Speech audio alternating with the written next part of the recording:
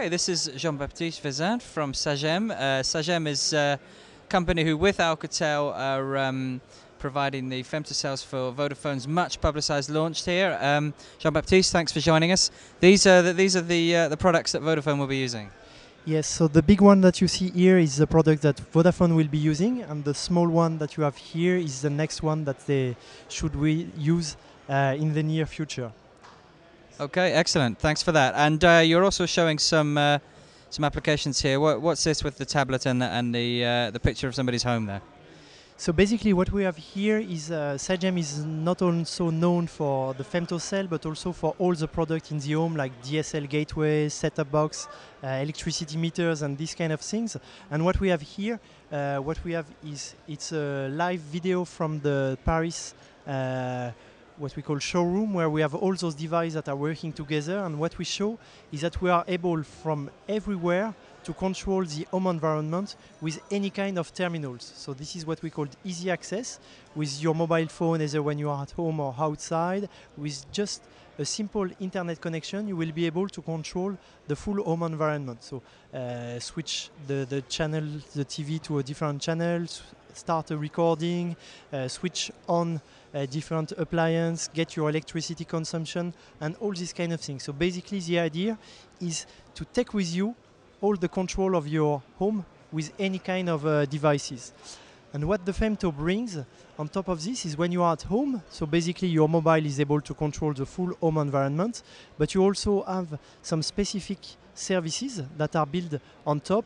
Uh, for example, linking the presence that uh, when a mobile comes into the, the home, uh, SMS server, and all these kind of things that will allow to interact within the home between your mobile and the different equipment. So, for example, changing the channel from your mobile and everything done locally. So, all the services that we have done are developed into the, the, the product. So, no involvement of the network operator network or anything. So, all done locally and available for any kind of terminals just using simple standard things so like uh, uh, web browser uh, sms and all these kind of things So for, for the TV, I wouldn't have to adapt my my, my television or, or some other I- item in my home in any way, would I? Basically, all this is working because you you, you need uh, to have a Sagem equipment. So it's uh, the full ecosystem that we that we have here, and that allows us to control all the points. But we expect that uh, in the future there might be some standards that will allow you uh, to control all these kind of uh, equipments from everywhere. So at the moment it's working when we, you have the full Sagem ecosystem, and in the future there will be some uh, interoperability and so on, which will allow you to make this uh, service available for everybody. And uh, I can see another example here as uh, of control of the uh, femtocell. Is that right for the user? Is it? Yeah, exactly. So inside the femtocell, we have a web server, like we have, for example, for DSL product or normal uh, CPEs. We have a, a way to control directly and locally uh, several parameters. So here, what we have on the screen is a control of the access list. So the users that are allowed to connect to the femto. So we can have the list, we can uh, delete some user, add some users, and do this very locally. So this is what we have, and we have different menus. So for example, users that are allowed, the menu that we call green, which is which allows us to put the femto in standby mode and to program also some standby mode between different hours. So for example, you can decide to switch your femto uh, in some way off uh, during the night between 10 and 6 in the morning, and automatically every night the femto will uh, will switch down into sleep mode and wake up automatically in the morning. So these are the features that you can do really locally and that are quite uh, quite new in the femto business.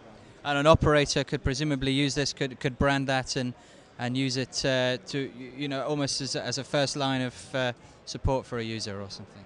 Yes, exactly. So this is the case. So here we present it with uh, Sagem branding, but when it's used by operators, they change it, they change the color to put their color, they put their logo and everything. But the, the tool is available, and after we can just adjust and customize it to, to the different operators.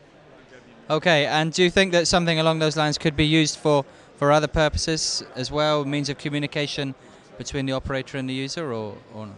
Um, no, we, we, it's more really for controlling the system and not to, to send some messages or things like this. We we believe that the operator will more send some SMS or have some direct connection with the with the user rather than using this interface.